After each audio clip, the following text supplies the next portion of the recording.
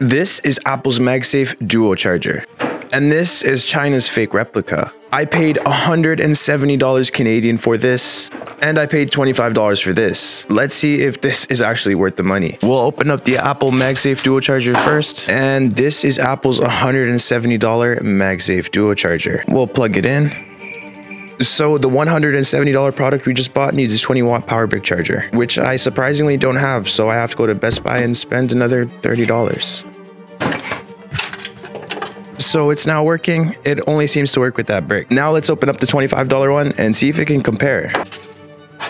So definitely not a one-to-one copy. It feels like cardboard and takes USB-C.